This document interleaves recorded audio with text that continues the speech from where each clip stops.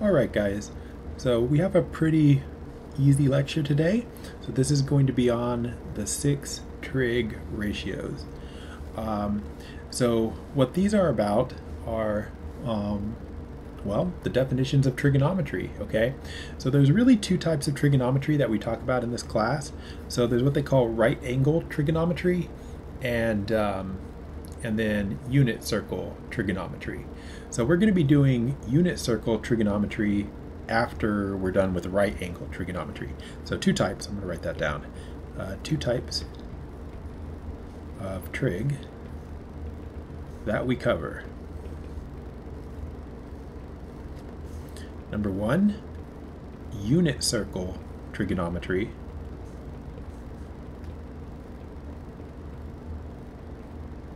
Which is basically uh, trig functions as functions.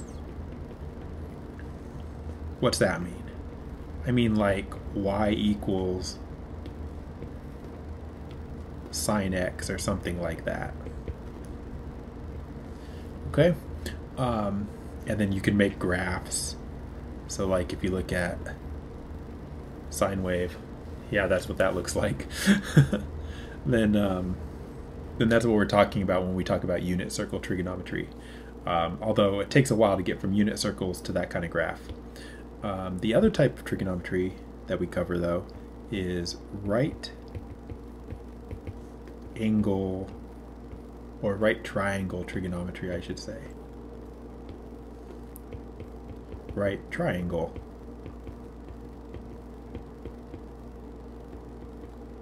trigonometry, uh, which is what it sounds like. Has to do with right triangles. And that's the kind that we're talking about today. Okay, um, so in order to get into that, we want to talk a little bit about right triangles, which we did talk about previously, but here's what we need to know. Uh, so, triangles. So, number one, a right triangle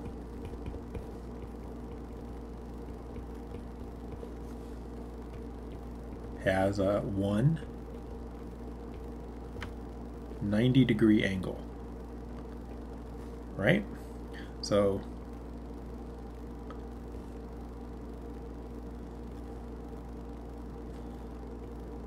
there's a right triangle okay?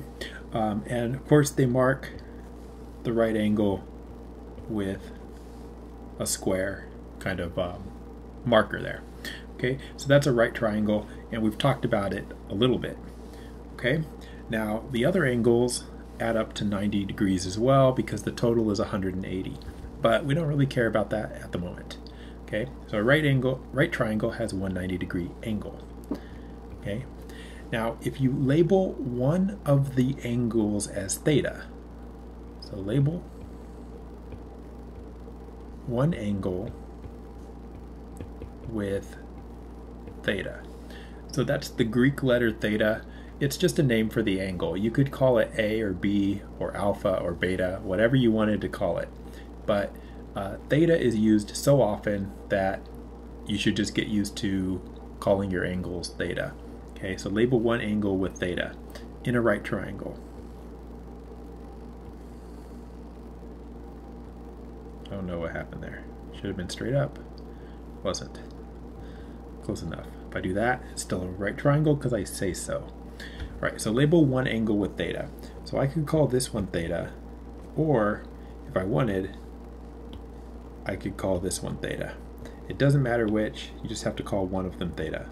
One of the ones that's not 90 degrees. Okay? Now, when you do that, when you label one of the angles as theta, then that's going to determine three sides of the triangle. So there are three sides. Uh, one of them, the longest side of the triangle,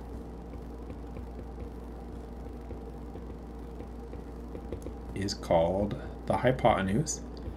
Now you probably know that. I mean, you should, right? Because we talked about it before. But it's called the hypotenuse. So that's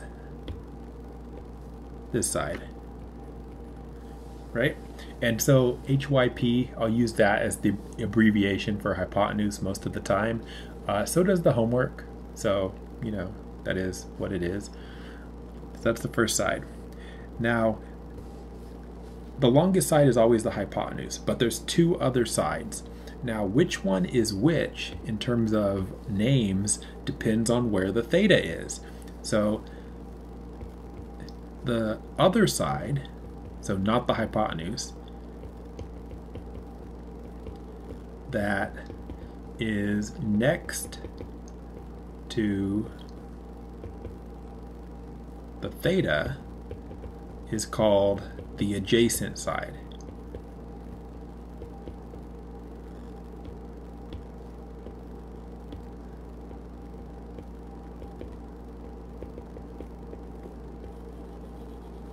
Now, adjacent just is another word that means next to, right? So adjacent just means next to. So if the theta is right here, then which side is the adjacent side? Well, it's this one, right? Two of the sides are next to the theta. One of them's the hypotenuse, the other one's the adjacent side. Now the third side, can fit it here. So the third side is on the opposite side from the theta, right? So if the theta is right here, then over here is the furthest away, right? It's opposite of the angle theta. So that's what we call it is opposite. So the side opposite of theta is called opposite. I mean, not really a brain teaser, is it? Right? So hypotenuse, adjacent, and opposite. And you need to know them.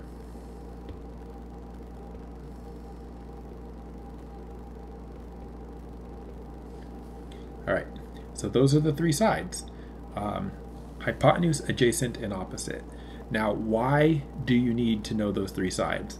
The reason you need to know those three sides is because the definitions of the six trigonomic functions, uh, or ratios, as we're going to call them in this uh, section, depends on them, right? So you need to know which side is which. And it does depend on where you put the theta, right? If I draw a new triangle here, like if I just pick a different color here and I'll draw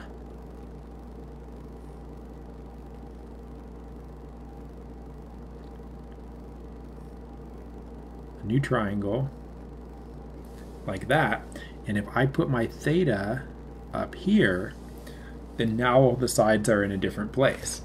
The long side is still the hypotenuse. That does not change. But the side that's next to the theta now is over here. So that's the adjacent side. And the side that's opposite of the theta is now down here. Right? So which side is adjacent and which side is opposite depends on where you draw the theta. So you have to know what what angle you're or yeah, what angle is the theta that you're talking about. Okay? So that's why we covered that first. Now, once you know the sides of the triangle there, then we can actually define our six trigono trigonometric functions, okay? So now here they are. Definitions. There are six trigonometric functions defined for theta. Okay, here they are. So they have long names and then basically short names. So the long names are like this. So the sine of theta, right? That's the long way to say it. The short name, the name with symbols, is sine theta like that. Okay? And then the way you calculate it is simply from two sides of the triangle. So if you have a triangle like these, then the way you calculate the sine is it's the opposite side over the hypotenuse. Okay? And that's it. That's the definition of the sine of theta. Well, like I said, there's six of these, so we've got only one written down. We have to write the other five. So the cosine of theta written that way. It comes from two sides of the triangle. Oh, I hate it when it does that. Adjacent over hypotenuse. We have the tangent of theta. Tan theta like that. It's the opposite side over the adjacent side. And then we have um, three more, which are basically just the first three, but they're upside down now. Upside down, what that mean? Means this. So like if I do the uh, secant, it's an A of theta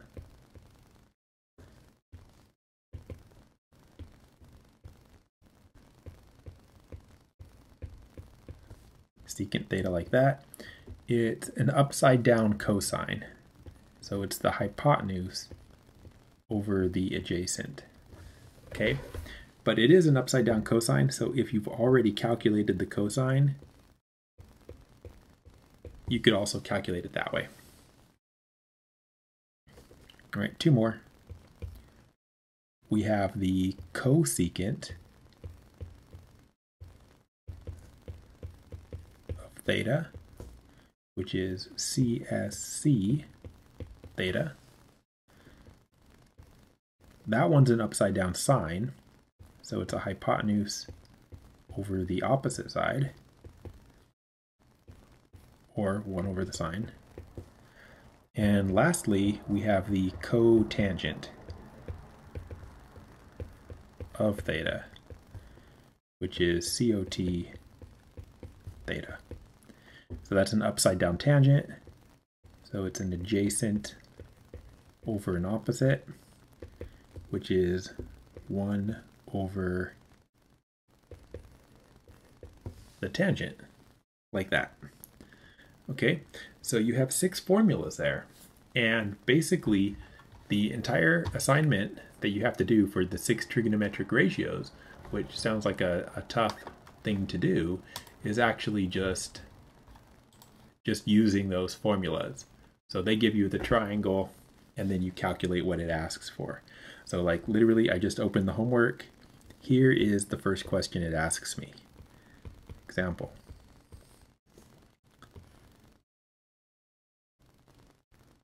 Give me a triangle. Now I'm not drawing this to scale so like the numbers aren't going to look like the numbers here. So they give me this triangle, and it says calculate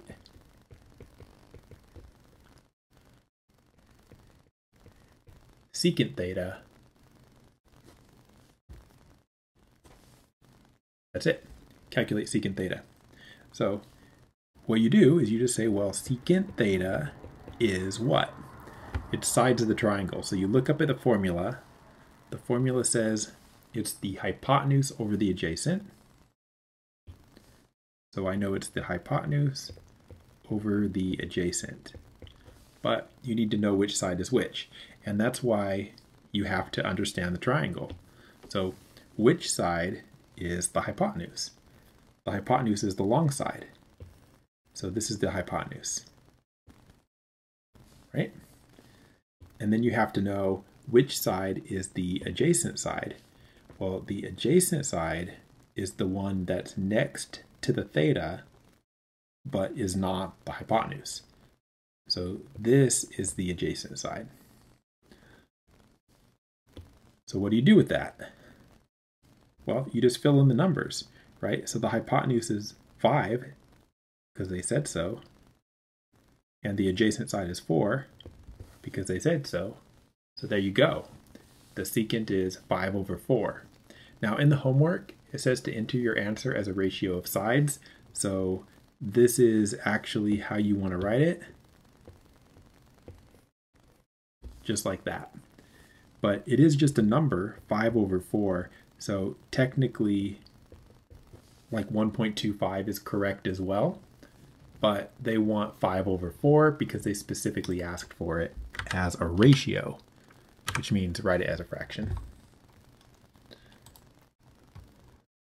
Okay. So again, you're just going to be doing this a bunch of times in a row, it looks like. So here's another one.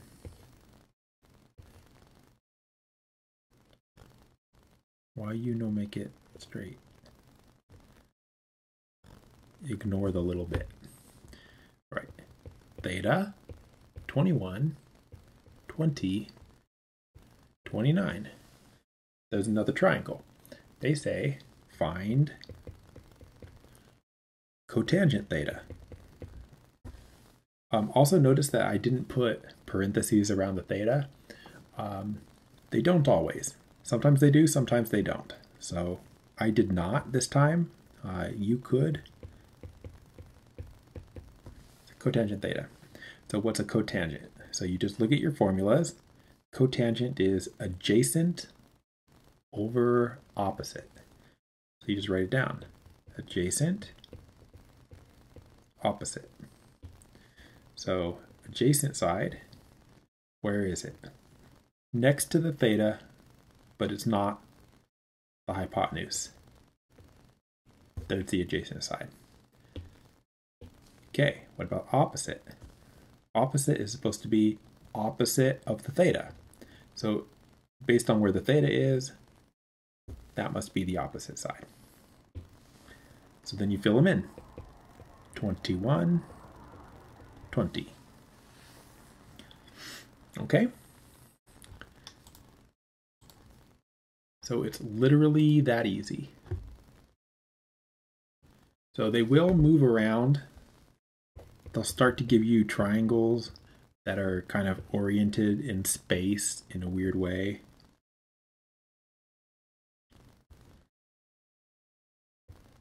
Like there's one like this. And they want the cosine.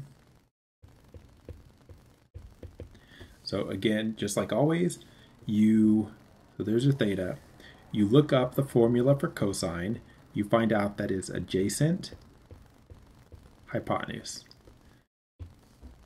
Adjacent next to the theta, not the hypotenuse. So with the theta in the right hand corner there, this must be adjacent, right? It's not the 13 because the 13 is the long side, so it's the hypotenuse, which I guess that's the next thing we need to know, right? So the hypotenuse is the longest side. There it is. So once you know those, you fill them in. 5, 13. And you're done.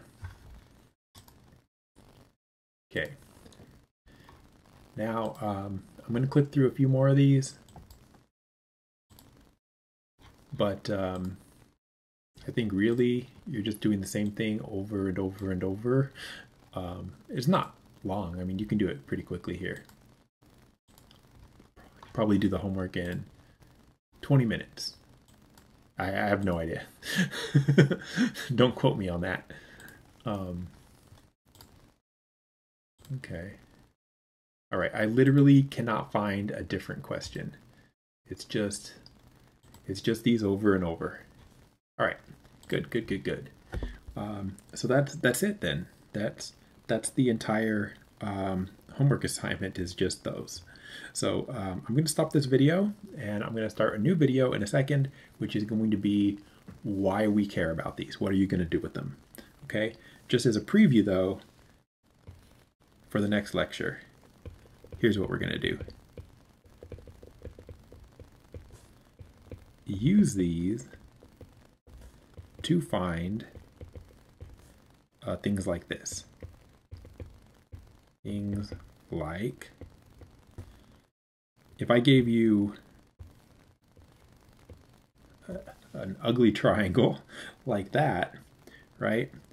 Like if I told you that this right here was like 40 degrees, and I told you here that this is like 20, and I put like an x here, I say find x.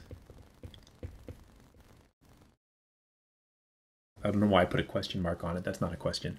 But find x. Could you do it? Of course, the answer is yes, but um, in order to do it, you're going to need a calculator. But luckily for us, we have calculators, so we can do it. Okay, so that's what we're going to do in the next lecture. Applications of right angle trigonometry, basically. Okay, so that's it. See you in a minute.